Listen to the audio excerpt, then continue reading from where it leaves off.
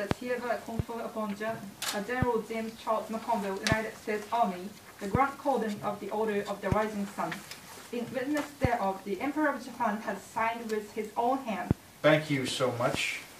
It's a tremendous honor to receive this award, and I accept this award on behalf of the strong friendship that we have, on behalf of our soldiers who work very close to each other, and on behalf of a stronger relationship in the future.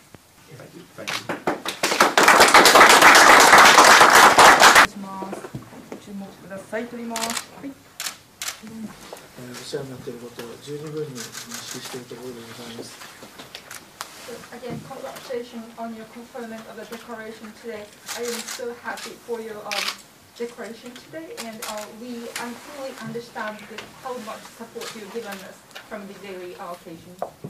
大変厳しいこの時代においてですね、えールールに基づく国際秩序と自由で開かれた So I'm fully aware that in this era of severe competition, the role that Japan-US alliance plays is bigger than ever in order to maintain rules-based international order and freedom of in the Pacific.